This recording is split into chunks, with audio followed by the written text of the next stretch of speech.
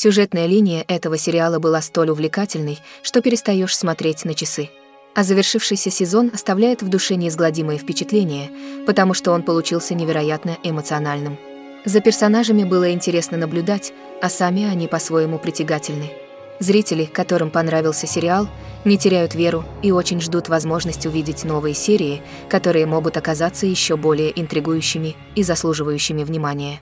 Однако в настоящее время стопроцентной информации по поводу выхода нового сезона нигде не опубликовано.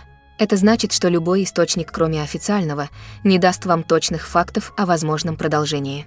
Безусловно, все мы очень хотим увидеть продолжение. И как только появится любая информация, которая подтвердит возможность нового сезона, мы сообщим об этом на нашем канале. Ожидая продолжения такого удивительного сериала, не лишним будет вспомнить и о других культовых сериалах, которые потрясали многих своим увлекательным сюжетом. Возможно, некоторые из них будут для вас большим открытием.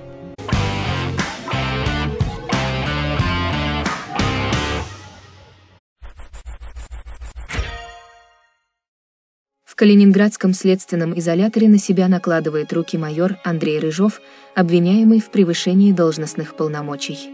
Четверо его коллег – Олег Каплан, Павел Карпенко, Оксана Голикова и Федор Вачовский – уверены в невиновности своего бывшего руководителя. И для того, чтобы восстановить его доброе имя, начинают самостоятельное расследование произошедшего.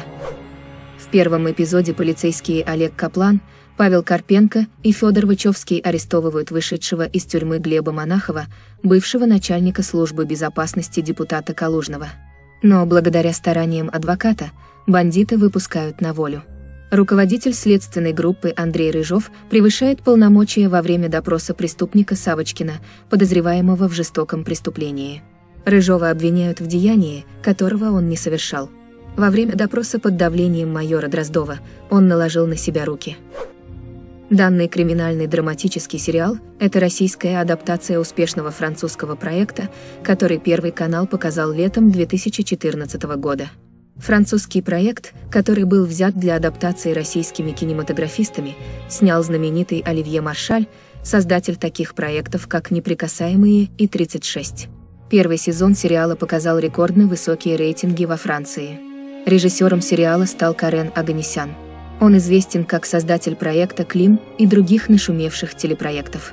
Съемки первого сезона российского сериала стартовали в начале 2016 года и полностью проходили на территории Калининградской области. Одну из главных ролей во французском сериале сыграл актер Жан-Юк Англад, известный по фильмам «Подземка» и «Никита». В нашей версии зрители увидят звезду отечественного кинематографа Владимира Машкова. Также главные роли сыграли Александр Паль, Лукерия Ильишенко и Денис Шведов. Режиссер Карен Аганесян рассказал подробности о проекте. Мы собрали прекрасную команду. Все герои разные. Персонаж Владимира Машкова, лидер команды, волк-одиночка, но он будет меняться на протяжении всего фильма. Романтика ему не чужда, и у героя будет не одна любовная сцена. Александр Паль играет парня из нашего двора, но и бунтаря. Герой Дениса Шведова – человек, который разрывается между работой и семьей. А Лукерия Ильишенко всех удивит, у нее очень непростая драматическая роль.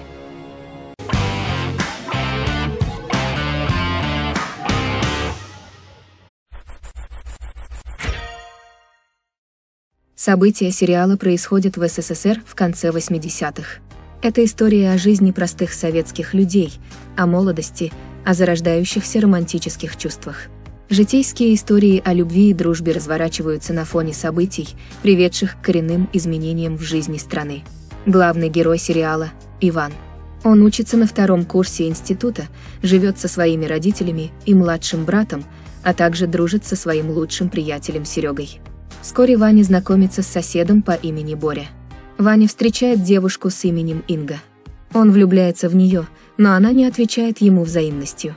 Инга поселилась в общежитии и знакомится с соседкой, которую зовут Маша. Она комсорг факультета. Чтобы Инга заметила Ваню, он и Серега решают организовать квартирник, где должен присутствовать Виктор Цой. Цой так и не приезжает, и в итоге квартирник спасает Галдин, который положил глаз на Ингу. Из-за квартирника у семьи Вани сломался телевизор, и ему пришлось устраиваться на работу. Вскоре он познакомился с Катей, и они временно стали парой, а Инга начинает встречаться с Галдином. Сериал показывает невероятные изменения, которые произошли за несколько десятков лет. Сегодня в квартире можно установить домашний кинотеатр с большим экраном, а раньше в каждой семье смотрели советский телевизор «Рекорд». Благодаря сериалу можно убедиться, что в прошлом веке считалось престижным иметь красный телефон «Чебурашка» польского производства. Позвонить с улицы в 80-е годы можно было только с помощью телефона-автомата. Для современного поколения такой проблемы просто нет, ведь в мире появились смартфоны. Из интервью с Александром Якиным. Мне кажется, в первую очередь данный проект будут смотреть наши родители. И современные молодые люди тоже, потому что им будет интересно понять, как жили, общались, развлекались и влюблялись в то время. Забавно, но тогда даже шариковая ручка, привезенная из Югославии, очень ценилась, а сейчас ей вряд ли кого удивишь. Во время подготовки к съемкам Наталья Земцова расспрашивала свою маму о жизни в 80-е годы, искала на антресолях вещи того времени и даже читала журналы о моде, датированные 80-м годом.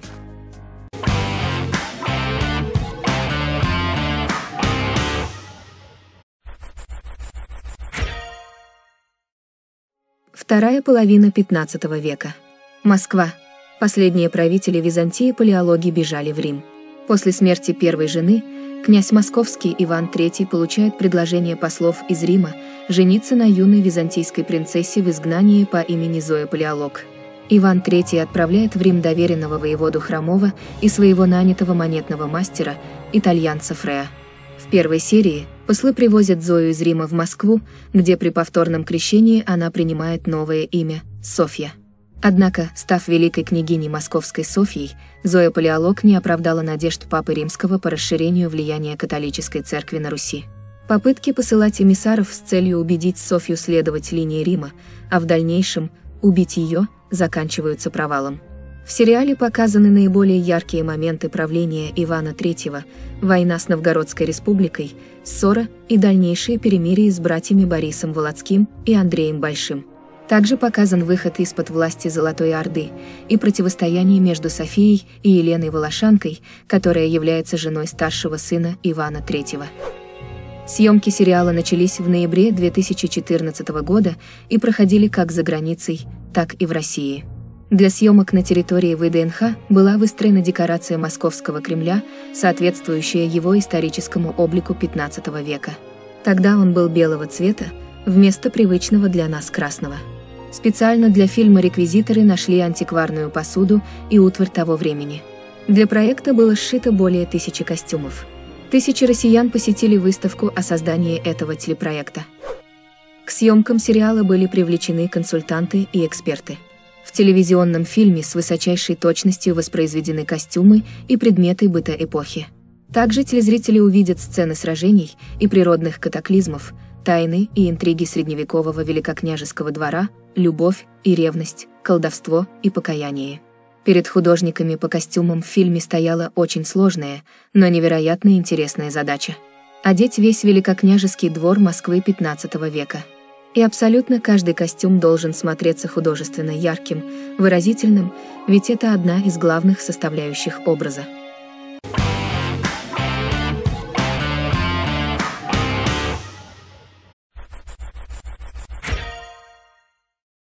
В первом эпизоде проекта американского шпиона засылают в «Газпром» и ставят перед ним сумасшедшую задачу – стать русским. На обучение шпиона тратят полтора миллиона долларов.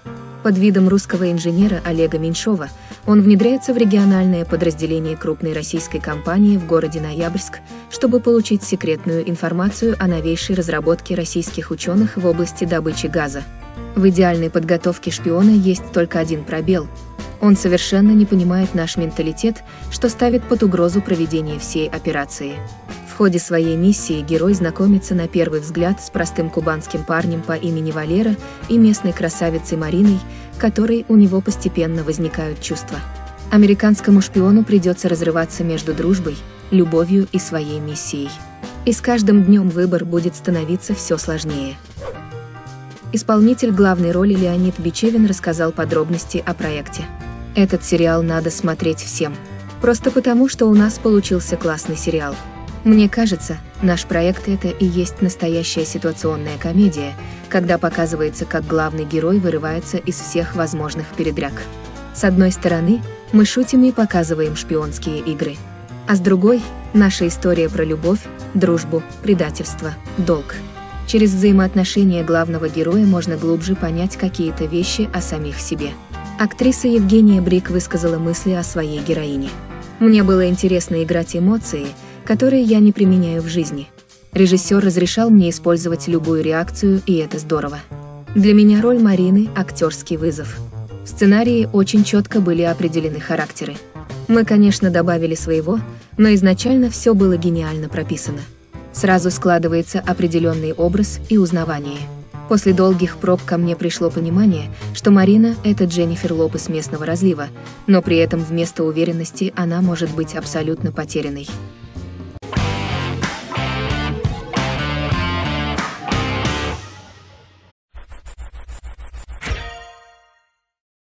Действие сериала происходит в 1946 году. Прошедший войну Денис Журавлев возвращается после фронта в родные края в звании лейтенанта. Он на себе ощутил все ужасы военных действий. Теперь же, намереваясь защищать простых граждан от преступников, Журавлев вступает в ряды милицейской службы. Начальником отделения, под руководством которого начинает работать Денис, является майор Шумейко, носящий красноречивое прозвище «Сатана». У него была непростая судьба – но именно такой темперамент и сложный характер помогает ему вычислять преступников и отправлять их за решетку. Появление Журавлева в отделении милиции совпадает с началом масштабной операции по поимке криминальной банды. Главой этой банды является человек по кличке Клещ. Помимо того, что он очень жесток, преступник еще и крайне хитер и изобретателен. Стандартными методами вывести его на чистую воду и арестовать будет очень сложно. Для этого будет необходим четко разработанный план. Именно на эту задачу и ставят лейтенанта Журавлева. Именно так стартует этот проект. Андрей Бурковский поделился своим мнением о сериале. Это большой проект, и мы все активно готовились к съемкам, репетировали, встречались с режиссером и другими артистами, обсуждали детали. Я смотрел фильмы про послевоенные времена, чтобы освежить в памяти ту эпоху. Меня привлекла сама роль, история и время, в котором происходят события. Послевоенная тема очень интересна и глобальна. Мне вообще интересны исторические проекты, особенно когда крутой сценарий. Интересные факты. Мини-сериал снимали в Подмосковье, главным образом на территории заброшенных заводов. Роль маленького закрытого города сыграл Морозовский городок в Твери. Релиз сериала состоялся 16 февраля 2021 года на стриминговом сервисе. Сериал стал третьей работой для Андрея Бурковского в жанре исторического фильма. В творческом багаже у актера уже была роль в полнометражной исторической ленте «Табол» и участие в боевике «Легенда о Калаврате».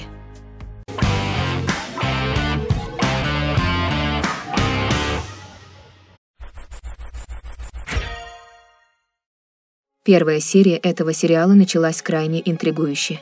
В то время как большинство психологов нянчатся с клиентами, по полгода выслушивая жалобы на их жизнь, главный герой Артём намеренно выталкивает своих пациентов из зоны комфорта. Артём – стрелецкий психолог, профессиональный провокатор, практикующий шоковый метод психотерапии. Работа психолога успешно процветает до тех пор, пока один из клиентов не накладывает на себя руки. Суд приговаривает Артема к восьми годам лишения свободы. Выйдя из тюрьмы по условно-досрочному освобождению через 4 года, Стрелецкий возобновляет работу с пациентами и пытается самостоятельно раскрыть дело, по которому оказался в тюрьме. Однако бывшая жена Артема Даша обрела счастье с другим мужчиной и не желает его видеть. Но Артем не верит в их любовную идиллию. Продюсер Александр Цикало рассказал подробности о сериале. Про психологов уже снято много сериалов, но настолько пронзительного еще не было. Наш герой живет на грани, спасти всех, разрушая себя. Самым сложным для такого проекта, как этот, было написать очень честный сценарий. На эту задачу у автора идеи и креативного продюсера, а также сценариста, ушло более полутора лет. Еще до выхода сериала в эфир Первого канала, во время канской презентации проекта весной 2018 года, представители кинобизнеса из Японии и США приобрели права на адаптацию телефильма. Создатели сериала не выдумали провокативную психологию, которой занимается главный герой. В действительности такой метод есть в реальной жизни, и он иногда практикуется в психологии. Идея снять этот проект возникла именно благодаря тому, что продюсер Александра Ремезова познакомилась в свое время с психологом, который применяет провокации как метод в профессиональной деятельности. Интересные факты. Идея для сериала появилась благодаря знакомству продюсера проекта с психологом по имени Сергей Насибян, сторонником провокативного метода, применяющим этот инструмент в своей профессиональной деятельности. Представители кинобизнеса из Японии и США приобрели право на адаптацию сериала в своих странах.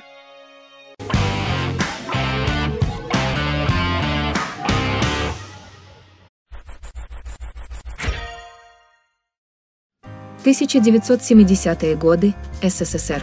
Главная героиня, 16-летняя Соня, живущая как большая часть советской молодежи, с верой в идеалы и светлое будущее. Но внезапно она сталкивается с темной стороной жизни. Она влюбляется в молодого человека по имени Сергей, который знакомит ее с другим законом. Не советским, а воровским. Воровской закон заставляет Сергея предать их с Соней любовь. Этот закон отнимает у Сони отца, губит мать, брата. Сама Соня чудом остается жива. Она спаслась, но теперь ею движет неукротимое желание истребить этот проклятый воровской закон. И начинает она с Сергея. В первой серии, во время празднования своего дня рождения, на даче погиб директор одной из местных фабрик, Литвинов Павел Петрович. Он отказал людям криминального авторитета немца поднять процент уплаты налога в общак. Через год семья Литвиновых оказывается в бедственном положении, и мать начинает выпивать. Младшая дочь Соня оканчивает школу и мечтает поступить в театральный институт. Чтобы отметить годовщину смерти отца, старший сын Игорь пытается продать фирменный продукт и попадает в КПЗ. Там он знакомится с Сергеем. Когда Соня встречает Игоря, ее видит Сергей. Он очарован девушкой. У них начинается роман. Действие многосерийной криминальной ретродрамы разворачивается в 1970-е годы в СССР. Сам телесериал создан на 8 серий, сценарий к которому написали Валентин Емельянов и Илья Рубинштейн. За режиссуру сериала отвечал Станислав Титаренко, известный телезрителям по проекту «Счастье мое». Главную роль в сериале сыграла актриса Соня Метелица, для которой съемки в этом проекте стали первой столь масштабной работой. Режиссер Станислав Титаренко описал этот сериал так.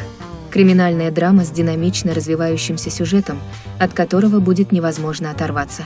Но фильм не про месть, а про любовь. А ретро 70-х годов. А динамика сериала и музыкальное сопровождение очень современные.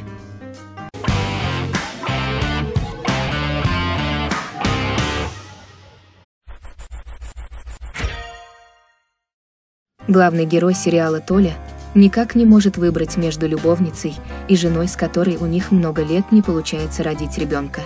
В первой серии лучший друг рекомендует ему переспать с танцовщицей в клубе и понять, перед какой из любящих женщин ему будет стыдно. Толя решает последовать совету. Но внезапно через несколько недель все три женщины сообщают Толе, что у него будет ребенок.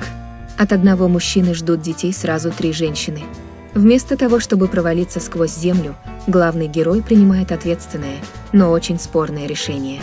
Несмотря ни на что он желает остаться любящим отцом для каждого из троих детей. Поэтому Толя собирает всех своих женщин и объявляет, что все три матери должны непременно жить вместе с ним под одной крышей. Толик думал, что станет жить, как в раю в окружении любимых дам, которые через 9 месяцев подарят ему детей.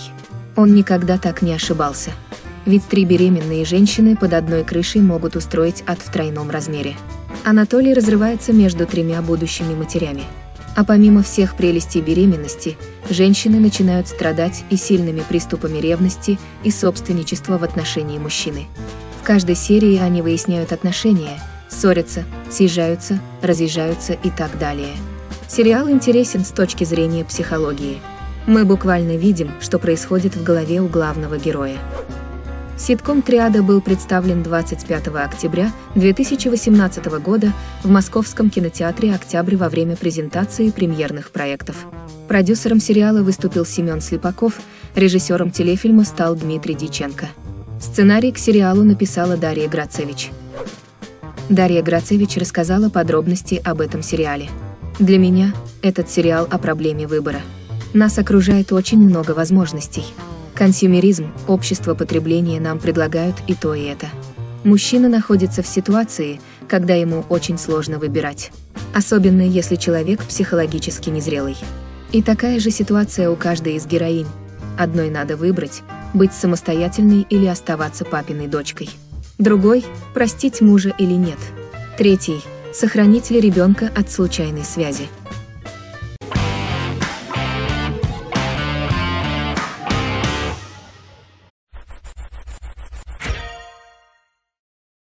От опера Глеба Барнашова уходит любимая жена. Он впадает в затяжную депрессию и начинает злоупотреблять алкоголем. Начальство переводит Барнашова в отдел по делам несовершеннолетних, где выясняется, что Глеб совершенно не понимает современных детей. Особенно не понимает свою дочь, Юлю. Для того, чтобы хоть как-то наладить с ней отношения, он просит одного из провинившихся подростков подружиться с ней в одной из социальных сетей и передать ему доступ к аккаунту – Именно так начинается первая серия проекта. Главная цель сериала – донести до зрителя проблему, где социальные сети стали основным источником информации для подростков. Съемки этого сериала проходили с августа по декабрь 2020 года. 8 июня 2021 года сериал был представлен на международном онлайн-рынке фильмов, сериалов, телешоу и анимации. Роль Барнашова сыграл Павел Майков, который получил свою известность после сериала «Бригада». Образ его дочери сыграла Ирина Паутова. Для актера Евгения Стычкина сериал стал дебютной режиссерской работой в жанре многосерийного кино. Исполнитель главной роли рассказал, что в сериале ярко описаны проявления современного конфликта между поколениями. В основе сюжета конфликт поколений как таковой. Он ведь существует столько, сколько и человеческий род. Но наш сериал про этот самый конфликт именно в текущее, сегодняшнее время, потому что время у нас не очень простое. Нельзя сказать, что мой герой жесткий или грубый. Он просто не умеет любить. Очень хочет, но не понимает, как это делать. Не понимает сути любви. Он вроде что-то делает, а все не то, но он очень любит дочь и по сути своей хороший и честный человек, поделился актер. Это универсальная история отцов и детей, но она особенно актуальна тем, что происходит в эпоху, которой мы раньше не знали. И сегодняшние родители переживают ее первыми. Их дети растут в мире социальных сетей, ВКонтакте, Инстаграм и ТикТок. Главный герой – настоящий мужчина, но кажется, сегодня это больше не ценится и только доставляет проблемы. Ему нужно одновременно найти контакт с дочкой, окружающими и самим собой, поделился продюсер.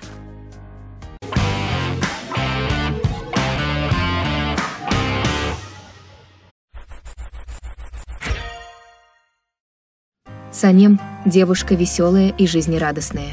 Каждое утро она просыпается пораньше и открывает магазин вместо больного отца. Потому ее и прозвали ранняя пташка.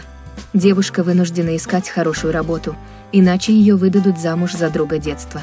В конце концов Санем устраивается в издательство, где работает ее сестра. Здесь и начинаются ее приключения. В первой серии Санем утром проводит несколько часов в бакалее своего отца. После проводит свой день мечтая и работая над книгой. Она очень довольна своей жизнью.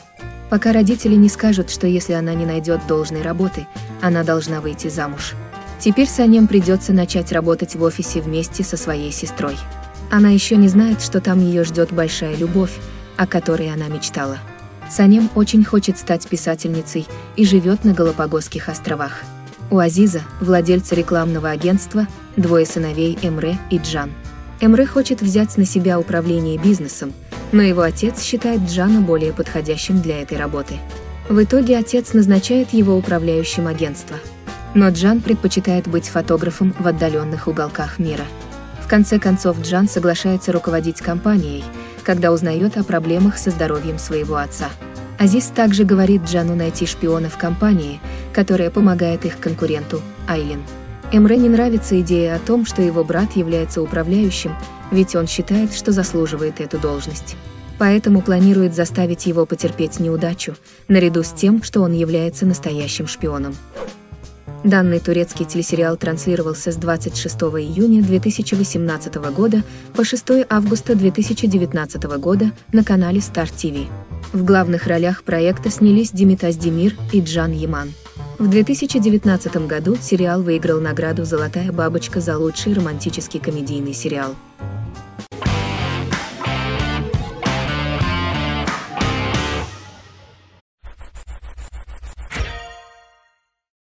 Они вернулись в свою страну после Афганистана, но страна стала совсем другой. Они рассчитывают только на себя. Они доверяют только друг другу. В одном из уральских городов совершено дерзкое ограбление. Похищены 145 миллионов рублей. Грабитель бывший афганец Герман Неволин, водитель инкассаторской машины. Что толкнуло его на преступление? Почему он принес в жертву все, чем дорожил? Дружбу и любовь. В дебютном эпизоде пять инкассаторов получают в кассе торгового центра большое количество наличных денег. Все инкассаторы – бывшие воины-афганцы. Среди них водитель фургона по имени Герман Неволин с говорящей кличкой «Немец», а также старший группы Виктор Басунов. По дороге в банк немец грабит собственную инкассаторскую машину. После ограбления он успешно прячется за городом, прячет мешки с деньгами в лесу и направляется в деревню под названием Ненастье. Премьера первой серии состоялась 12 ноября 2018 года. В 2020 году сериал стал обладателем премии «Золотой орел» в номинации «Лучший телевизионный сериал свыше 10 серий». Драматический сериал снят по роману ненастьи Алексея Иванова, автора проекта «Географ Глобус пропил». В основе сюжета лежит реальное событие, произошедшее в Перми в 2009 году. В этой социальной и психологической драме есть элементы брутального боевика и детектива о судьбе человека, прошедшего войну в Афганистане. Писатель Алексей Иванов рассказал о сериале.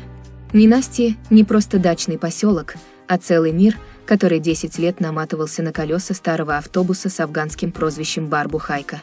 Взгляд Сергея Урсулика, режиссера фильма, чутко уловил вечную русскую хтонь, экзистенциальную бездну национального существования – но есть свет и воздух.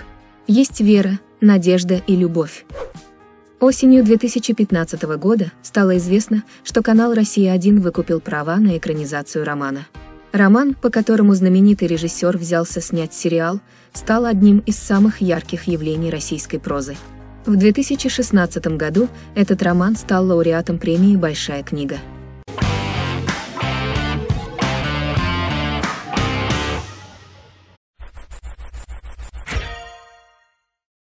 Этот сериал ясно показывает, что безобидной лжи не бывает. Рано или поздно даже самая тайная мысль оказывается в реальности настоящего времени. Создатели проекта предлагают зрителям представить ситуацию, когда такая реальность материальна и действительно существует. И самые безжалостные фантазии в ней воплощаются. Это история о человеке, для которого слились воедино власть, вседозволенность и безнаказанность. Действие фильма происходит в петербургской школе. Одна из учительниц выпрыгивает из школьных окон у учеников на глазах. Капитану с именем Игорь предстоит провести расследование, чтобы выяснить причины этого поступка. И для этого он знакомится с лидером класса, который в свою очередь расскажет капитану правила игры под названием «Спарта».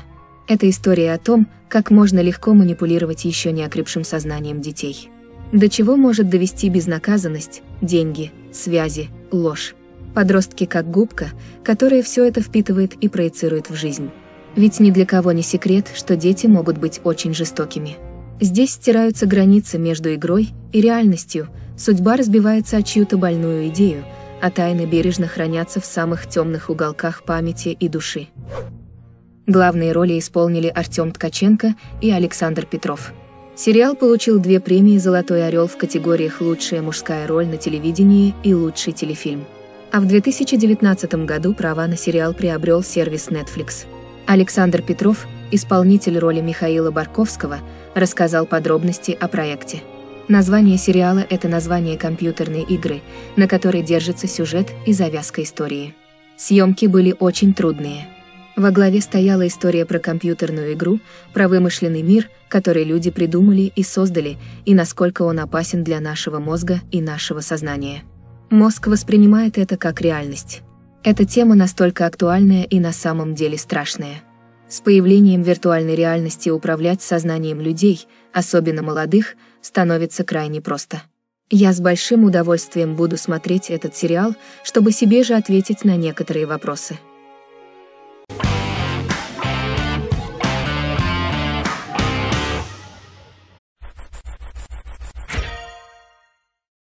Главная героиня Ослы – врач, спасающая людей.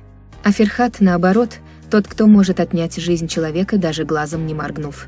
Их пути пересекаются, когда ослы насильно привозят в один загородный дом, чтобы она провела операцию раненому. Однако девушка случайно становится свидетельницей убийства и теперь сама должна умереть. Но у Ферхата не поднимается рука убить ее, поэтому он предоставляет ослы шанс.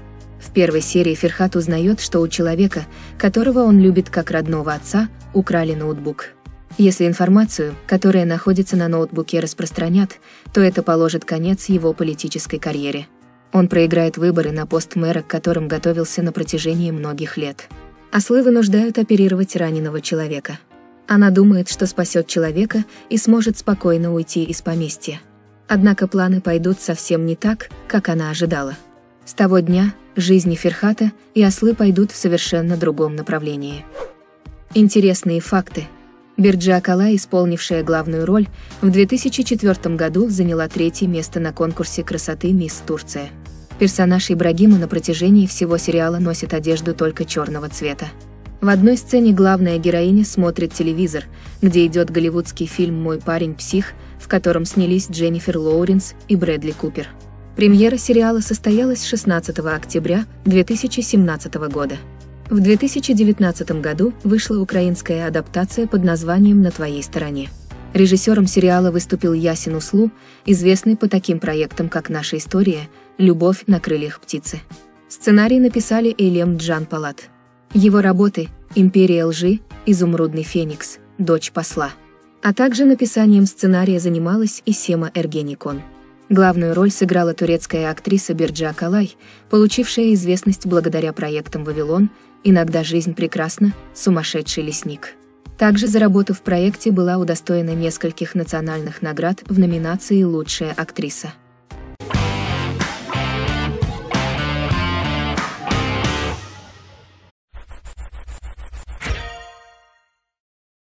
Дебютная серия проекта рассказывает про разведчика по имени Александр Волк. После неудачной спецоперации он попадает в тюрьму Арабского Востока. Спустя несколько лет генерал-майор КГБ в отставке Гольцман помогает ему выбраться из плена. Но взамен просит Волка найти тех, кто убил его сына. Убитый был хорошим другом Александра, поэтому тот немедленно берется за дело. Накануне своей смерти сын Гольцмана занимался расследованием событий 3 июня 1943 года на Каменном мосту в Москве. Тогда была убита дочь посла СССР в Мексике.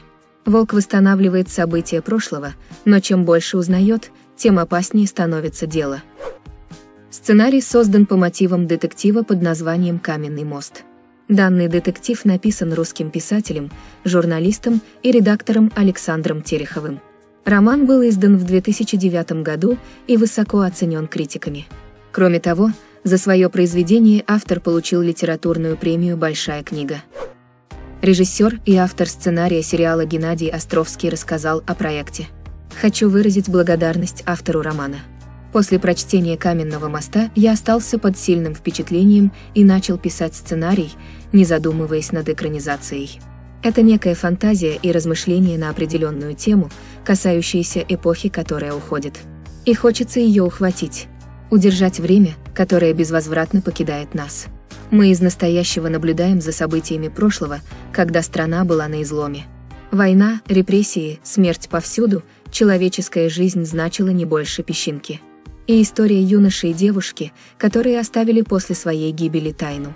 Для себя я ставил задачу поведать об огромной человеческой драме и передать энергию, которую таят в себе события и герои прошлого. Съемки проходили в Москве. По словам режиссера Геннадия Островского, съемочный процесс оказался непростым, так как пришлось перекрывать не только каменный мост, но и другие знаменитые столичные постройки. Производством сериала занимались киностудия «Кит» и компания White Media. Интернет-релиз состоялся 7 декабря 2020 года на видеосервисе «Премьер». а на телевидении проект показан в 2021 году.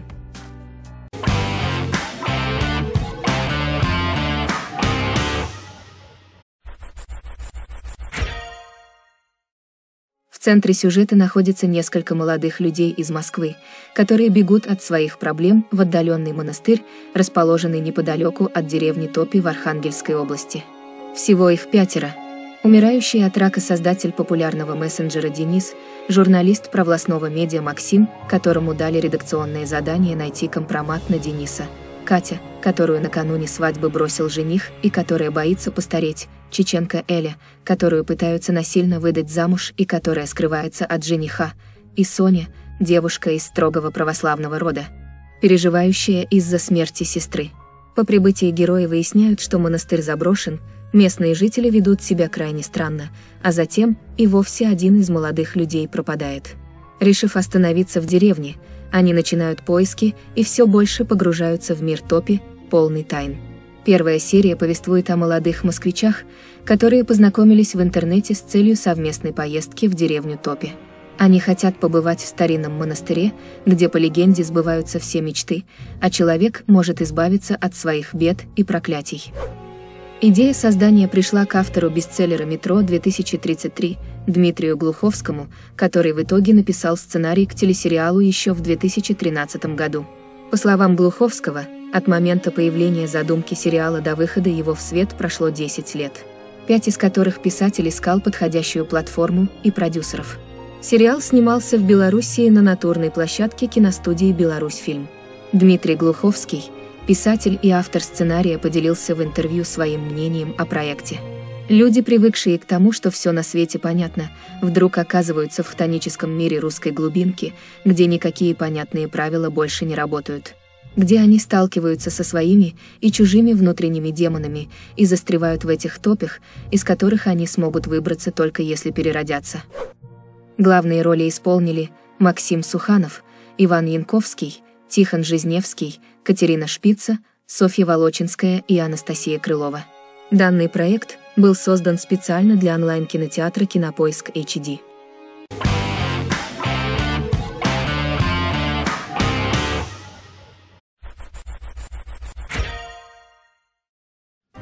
Первой серии показываются события, которые предшествуют проявлению симптомов у пациента. На протяжении эпизода команда врачей пытается определить болезнь, вызывающую эти симптомы. Используется метод дифференциальной диагностики, при этом врач-диагност Рихтер руководит обсуждением диагноза. Его интересуют только самые сложные и запутанные случаи, проще говоря, медицинские головоломки. Рутинная работа в больничной поликлинике навевает на него скуку и раздражает. Рихтер избегает разговоров с пациентами, поскольку твердо уверен, что они лгут. В прошлом Рихтер перенес сложную травму на бедре, инфаркт четырехглавой мышцы. И теперь он ходит, опираясь на трость, и пьет сильные обезболивающие. Рихтер самоуверен, заносчив, резок и циничен, не обременяет себя соблюдением правил хорошего тона и временами кажется, что сочувствие и сострадание ему чуждо. Строить личные и профессиональные отношения он не умеет и, кажется, не хочет. Люди, находящиеся рядом с ним, становятся объектами насмешек и провокаций, за которыми бывает непросто рассмотреть искреннюю заботу. За создание российского «Доктор Хауса» взялся телеканал «Россия-1». Главную роль эксцентричного врача в русской версии сыграет Алексей Серебряков. Режиссер Андрей Прошкин рассказал детали о сериале. Рихтер – циничный, замкнутый и одинокий с сардоническим чувством юмора, как и доктор Хаус. Но, на мой взгляд, он не лишен сострадания. Для него сострадание выражается через действие, а не через общение или похлопывание по плечу. Мы старались сделать персонажей не пустой калькой, а достоверными для нашей действительности. Герои должны оставаться живыми, чтобы за ними было интересно наблюдать. Поэтому какие-то вещи мы оставляем как в оригинале, но меняем детали и интонацию. Первоначально предполагалось, что премьера четвертого сезона сериала выйдет в свет осенью 2020 года. В дальнейшем, однако, было объявлено о переносе сначала на февраль, а потом на октябрь 2021 года.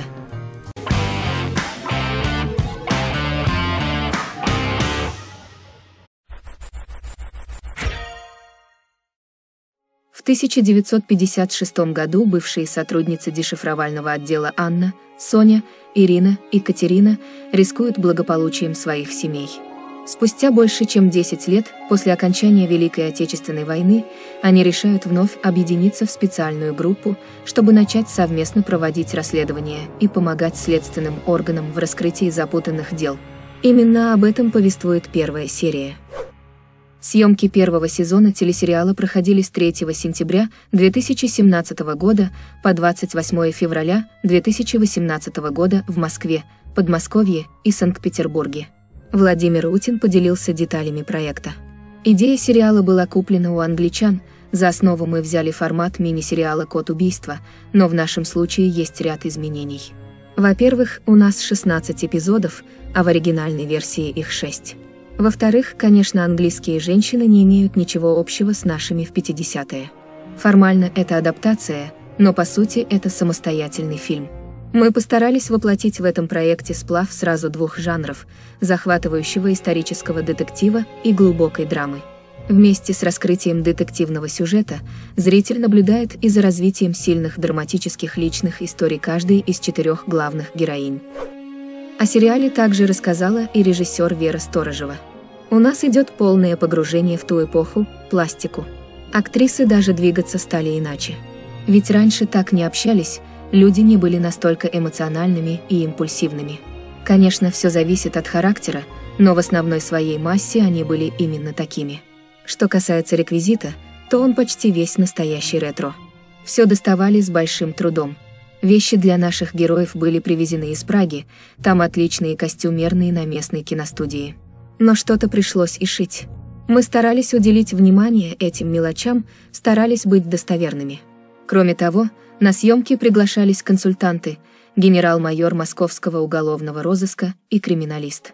Поскольку часть съемок связана с передачей и шифрованием данных, то и на этой позиции тоже есть специалист.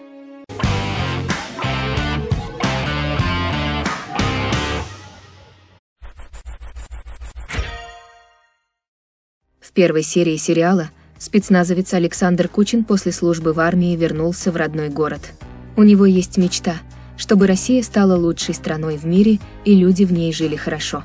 Следуя ей, он пытается перевоспитать нерадивых земляков любыми способами. Александр со школы влюблен в Елену Сысарину, которая мечтает уехать в Москву и стать знаменитой звездой. В то же время к Александру неравнодушна Екатерина Тетерина, простая девушка, готовая принять его любым, ведь для нее он – настоящий мужик. Здесь зритель видит не классического героя подобных произведений, который пытается познать непостижимые пути российской государственности. Здесь герой просто любит свое отечество, без вопросов к нему, без претензий. И делает это не потому, что вокруг него все чудесно. Наоборот, его идеал вечно сталкивается с бытовыми ситуациями, в которых оказывается почти не жизнеспособен, но герой остается непоколебим несмотря ни на что.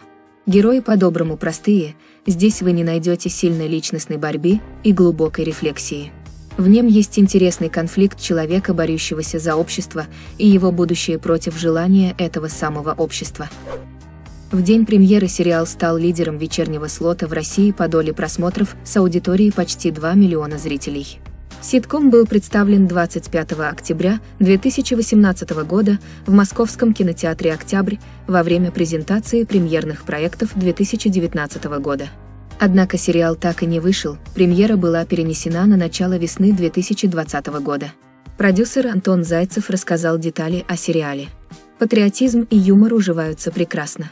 Столько хороших комедий было сделано в советское время, где показаны люди, как с высокими идеалами – так и со слабостями, патриотическая комедия, беспокойное хозяйство, интервенция, гусарская баллада. При этом наш сериал – это комедия не о патриотизме, это комедия, где одного из героев называют патриотом за его яркую позицию, но на самом деле все герои здесь патриоты и любят свой маленький городок.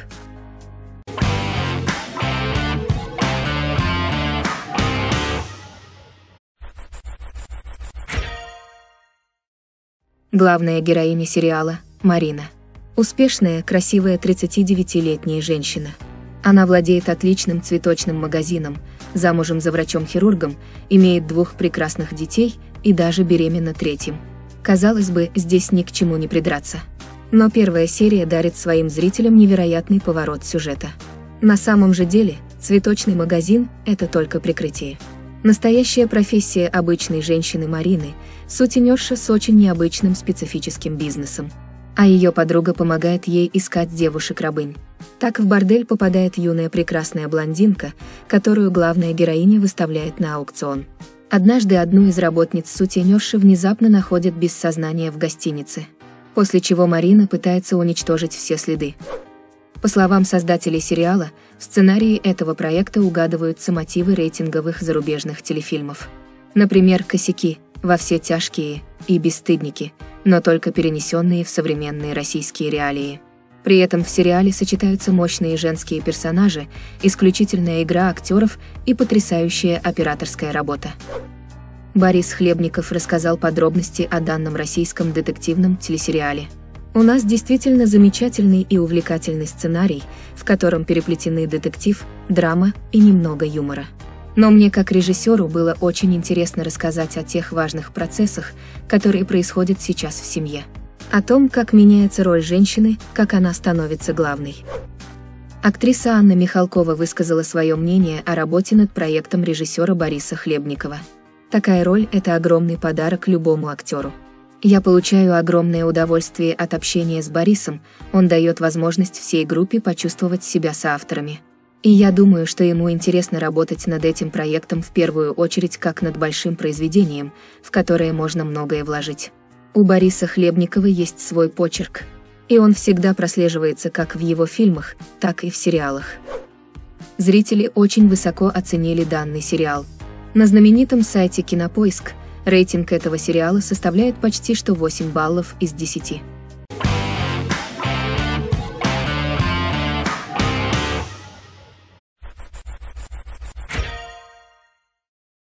Смоленск – обычный город, расположенный в средней полосе России.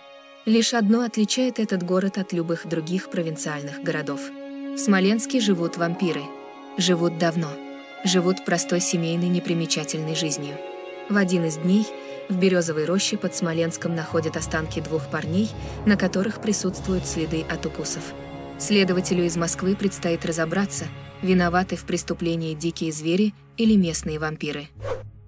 После премьеры первой серии проект получил гигантскую поддержку со стороны зрителей. Креативный продюсер Алексей Акимов поделился своим мнением. «Мне очень нравится, когда мистика и быт умело переплетены между собой». Тогда, находясь внутри обычной жизненной истории, мистика не выбрасывает тебя из реальности. Она становится просто дополнительным украшением, дающим истории новые повороты и возможности. В сериале всего неделя из жизни вампиров в провинциальном российском городе, но эта неделя выдастся для них весьма бурной.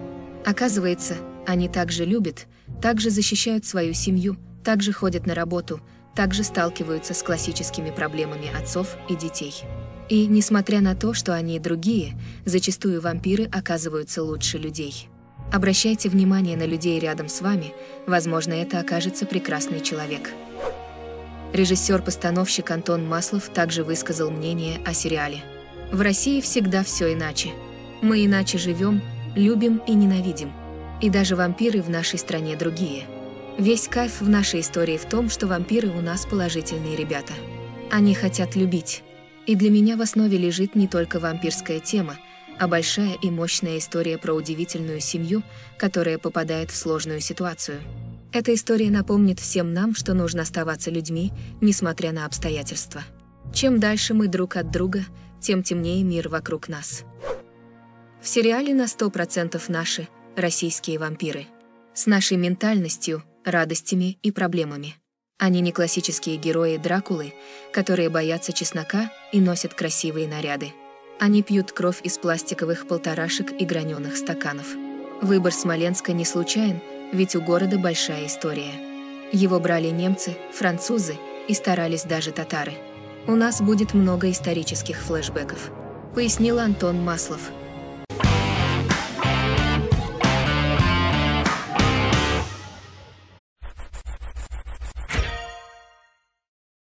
Родион – загадочная и неординарная личность.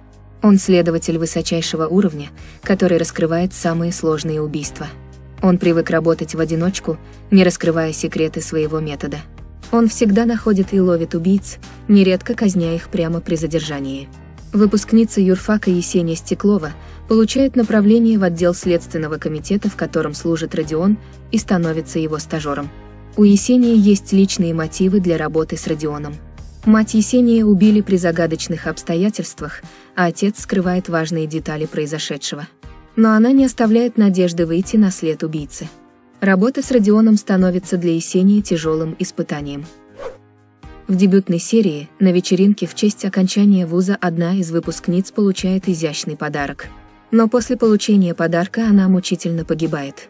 Через несколько минут, у всех на глазах, следователь Родион вычисляет и задерживает человека, подарившего колье. Но заказчик эффектного преступления остается на свободе. Есения одержима стремлением найти убийцу своей матери. И потому хочет понять, как Родиону удалось вычислить преступника. Есения решает пойти к нему на стажировку.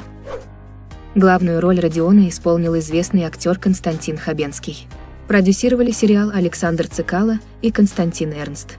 Цикало сыграл одну из ролей в 16-серийном фильме, как и режиссер картины Юрий Быков. В интервью Константин Эрнст рассказал детали о проекте. Мы даже не называем эту вещь сериалом, поскольку она построена на блестящем сценарии, такой же режиссуре и феноменальной актерской игре всех без исключения участников этого проекта. Думаю, это будет главным событием. Он не будет выходить стандартно после программы «Время», как это традиционно проходит у нас с премьерами многосерийных фильмах. Съемки 16-серийного психологического триллера продлились с июля по декабрь 2014 года и проходили в Нижнем Новгороде. Режиссером сериала стал Юрий Быков, постановщик картин «Майор», «Жить» и сериала «Инкассаторы». На вопрос журналистов о том, почему он взялся за съемки этого проекта, Быков ответил – меня как режиссера подкупило одно. Мы ставим Константина Хабенского и девочку, которая должна в хорошем смысле перетащить на себя актерское одеяло. Есть любовная история, есть противостояние личностей разного пола, разного возраста. Для меня это режиссерский вызов –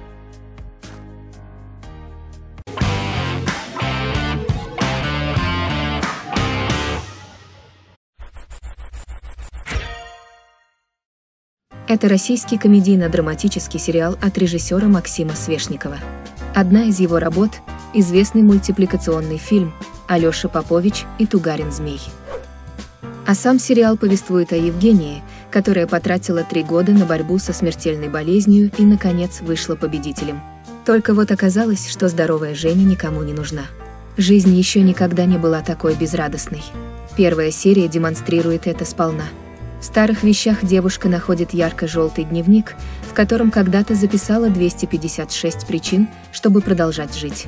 Женя добавляет 257-ю «Найти любовь» и отправляется на поиски своего счастья. Теперь у нее есть настоящий шанс исполнить свои желания, не тратя время на сомнения, рутину и никчемных друзей. Но убежать от старой жизни, конечно, не так просто. Полина Максимова, сыгравшая главную роль в проекте, рассказала мысли о сериале. Главное в этом проекте – то, что он дает надежду людям. В современном мире одиночество, уныние и апатия заняли самые серьезные позиции. Люди ходят с потухшими глазами и совсем не имеют желаний. Поэтому этот сериал надо посмотреть зрителям. Многие узнают себя и поймут, что все неплохо и не стоит бояться – а нужно попробовать что-то поменять, и тогда жизнь заиграет новыми красками. В этом фильме много веры, много надежды и много любви. Продюсер Эдуард Илаян также рассказал некоторые подробности. Затронув в нашем новом сериале очень деликатную и серьезную тему, мы зашли на территорию в каком-то смысле новую для нас. Нам было крайне важно найти тонкий баланс между драмой и комедией, не сместив акценты ни в ту, ни в другую сторону. Я уверен, что нам это удалось. Сценарий к сериалу написал Алексей Ляпичев. Автор признался, что хочет, чтобы все зрители, которые посмотрят его сериал, взяли пример с главной героини с ее неистребимой жаждой к жизни. Вот что он сказал в одном из своих интервью.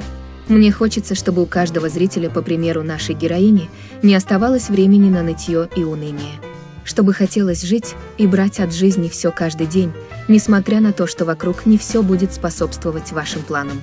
Но жизнь такова.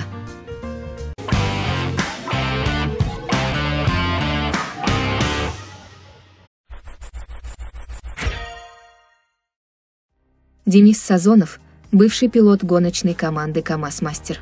После перерыва в 12 лет и краха на всех жизненных фронтах он хочет вернуться в родную команду. Но это оказывается не так уж и просто. Так начинается сериал в первой серии. Когда-то, став самым молодым чемпионом мира в истории ралли-рейдов, он был уволен из КамАЗ-мастера за нарушение командной этики. Денис хочет вернуть чувство самоуважения и причастность к большому делу и снова выиграть ралли-рейд. Но в команде его никто не ждет. Заместитель директора команды Еремин не хочет давать ему шанс, ведь считает, что Денис серьезно нарушил командные правила. Сазонов устраивается в команду уборщиком, проходя весь путь в руль с самого начала. Но и здесь его ждет неприятный сюрприз. Он встречает свою бывшую жену, которая планирует занять место штурмана и стать первой женщиной-пилотом в мужском коллективе. Сюжет сериала выдуман, но российский спортивный экипаж КамАЗ-Мастер – это действующая с 1988 года команда, которая впервые участвовала в гонке в Дакаре в 1990-м, а через 6 лет выиграла ее – всего с начала основания команда принимала участие в ралли 29 раз и завоевала 17 наград. Съемки картины начались в феврале 2020 года, через 14 дней после ралли в Саудовской Аравии, где экипаж занял первое место. На подготовку к съемкам ушло 5 лет. Сериал снимался в Республике Татарстан, где размещена база команды, а также в Астрахани и области, в Казахстане и в Москве. Проект был создан при поддержке команды и президента Татарстана. Макар Запорожский, который исполнил роль пилота Сергея Беликова, поделился своими впечатлениями о съемках. «Я потрясен.